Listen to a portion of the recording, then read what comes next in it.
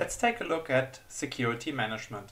In a multi-domain management environment, we have components such as the multi-domain management server, a multi-domain management log server, and a smart event server. Gateways receive their security policies from a domain inside the multi-domain management server, and they send logs to a log server. Security management is best done using a smart event server. The smart event is correlating single log messages to qualified events. The performance of the smart event server depends on the log rate and the activity that is performed, how many queries are done. So in one deployment option, you can have one smart event server that is a global object, and this is then allowing that multiple log domains can send their log messages and you can correlate events. Since R81 we have the option that a single domain can have a single smart event server, so only logs of this domain are correlated. In a multi-domain security management environment, we have high availability and load sharing options.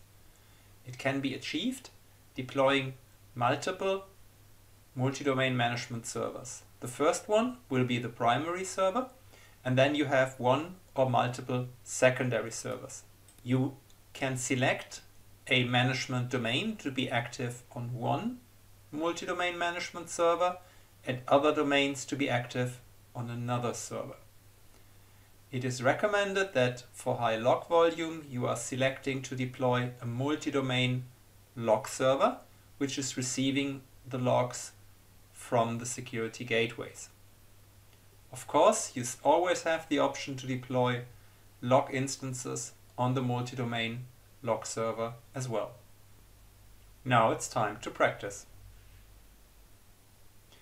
I am connected to a multi-domain management server and this multi-domain management system is consisting of two servers a primary multi-domain management server, one secondary multi-domain management server, and a multi-domain log server.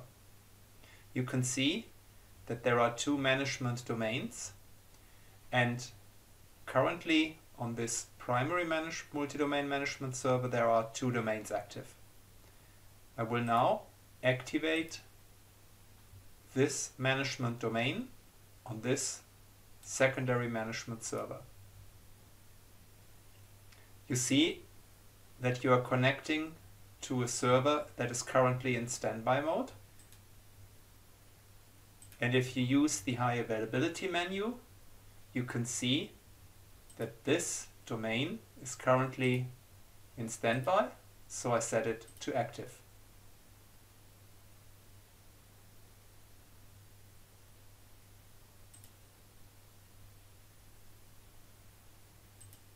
We now see that this multi-domain management server has this domain active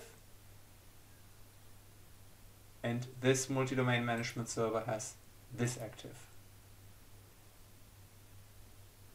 You see the status has now changed and now I'm connecting to the secondary multi-domain management server to manage this management domain number two.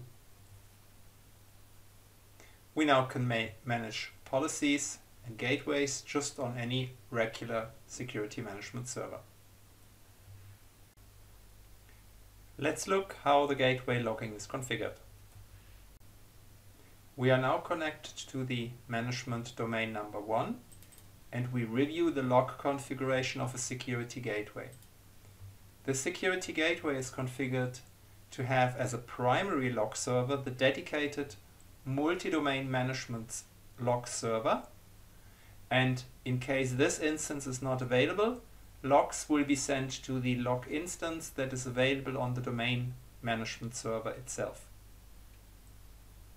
You have the option, of course, to define other instances, such as in this case, the dedicated smart event that is part of this environment. R81 allows you to have a smart event server as an object inside the management domain. You can define the logs that are sent to this smart event server using the smart event settings menu that is opening the relevant dashboard. You see that only the domain number one is used and the correlation unit is reading logs from the dedicated log server. Thank you for your attention.